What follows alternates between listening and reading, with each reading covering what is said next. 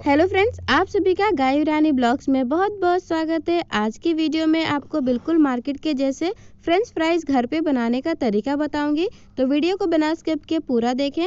मैंने इस वीडियो में आपको बिल्कुल मार्केट के जैसे फ्रेंच फ्राई बनाने के छोटे छोटे टिप्स शेयर किए हैं। अगर वीडियो आपको थोड़ी सी भी पसंद आए तो प्लीज़ वीडियो को लाइक करें चैनल को सब्सक्राइब ज़रूर करें। साथ ही साथ बेल आइकन को भी ज़रूर प्रेस कर दें।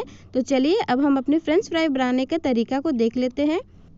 तो मार्केट जैसा फ्रेंच फ्राई बनाने के लिए आपको सबसे पहले यहाँ पर बड़े साइज़ के आलू ले लेने हैं। अगर आपके पास बड़े साइज़ के आलू नहीं है तो आप इस तरीके से छोटे मीडियम साइज़ के आलू भी ले सकते हो। आलू को लेने के बाद आपको अच्छी तरीके से आलू को छील लेना है। एक बात का आप यहाँ पे ध्यान रखेंगे, फ्रेंच फ्राई बनाने के लिए आपको सफ़ेद आलू का इस्तेमाल करना है, लाल वाली आलू का इस्तेमाल नहीं करना है। आलू को अच्छी तरीके से छीलने के बाद अब हम अपने आलू को कट करेंगे।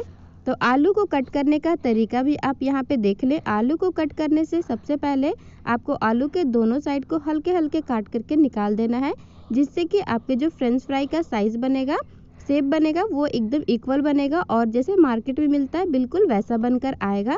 तो दोनों साइड से हल्के हल्के किनारों को कट कर देंगे और लंबे लंबे सेप में हम आलू को काट करके अब तैयार करेंगे।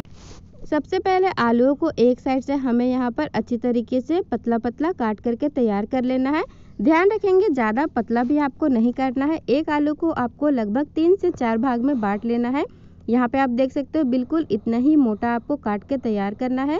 अब इसके लंबे लंबे हम यहाँ पर साइज़ काट करके तैयार करेंगे। जिस तरीके से फ्रेंच फ्राई होते हैं, बिल्कुल वैसा यहाँ पे आप देख सकते हो, इतना ही मोटा आपका होना चाहिए। ज़्यादा मोटा भी नहीं, ज़्यादा पतला भी नहीं। बीच के साइज़ के आप काटोगे तो आपके जो फ्रेंच फ्राई है, बहुत ही अच्छे बनकर तैयार होंगे। जैसे ही आलू को कट कर लेंगे, अब हम इन्हें पानी में रखेंगे, ताकि जितने भी आलू में स्टार्च हो, वो अच्छे तरीके से पानी में निकल जाए।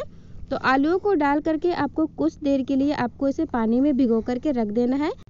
इसके बाद एक बड़े से बर्तन में नमक और पानी डाल करके हमें गर्म कर लेना है। जैसे ही पानी हल्का गर्म हो जाएगा, कटे हुए आलू को हम इसमें डाल देंगे। आलू डालने के बाद आपको दो से तीन मिनट के लिए इन्हें आपको गर्म पानी में हल्का सा बॉईल करना है। दो से तीन मिनट होने के बाद आलूओं को आपको अच्छी तरीके से सारा पानी निकाल करके एक बड़े से बर्तन में अच्छी तरीके से फैला करके रख लेना है। आलूओं को निकालने के बाद आपको एक बड़े से प्लेट में अच्छी तरीके से फैला करके रखना है, जिससे कि आलू में जितने भी पानी हो, वो जल्दी से सूख जाए। इसको आपको एक साफ़ तौलिए से अच्छी तरीके से आलू को अच्छे से पोच करके इसका मॉइस्चर को अच्छे से सुखा देना है, जिससे कि इसमें जितने भी पानी होगा, मॉइस्चर होगा, वो जल्दी से सूख जाएगा और आपकी जो फ्रेंच फ्राई है, बहुत ही क्रंची बनेंगे। इसके बाद हमें इसमें डालना है एक चम्मच अरारोट एक से डेढ़ चम्मच मैदा, जिससे कि आपके जो फ्रेंच फ्राई है, बहुत ही क्रंची बनेंगे। अब हम इसमें मिलाएँगे आधी छोटी चम्मच नमक। नमक आपने बॉईल करते वक्त भी डाला है तो यहाँ पर आप ध्यान से डालेंगे। अब मैं यहाँ पर बिल्कुल मार्केट जैसा कलर लाने के लिए रेड फ़ूड कलर का इस्तेमाल कर रही हूँ। एक चुटकी रेड फ़ूड कलर डालेंगे और एक से डेढ़ चम्मच पानी डाल करके हमें इसे अच्छे से मिक्स कर देना है। अगर आपके पास फ़ूड कलर है तो आप डालिए। ना हो तो टोटली आप इसे स्किप कर सकते हो। इन्हें अच्छी तरीके से आलूओं में मिक्स करने के बाद हमें इसे रख देना है दो से तीन मिनट के लिए। डायरेक्ट ही आपको फ्राई नहीं करना है, हल्का से इसे सूखने देना है। इसके बाद हम इसे फ्राई करेंगे।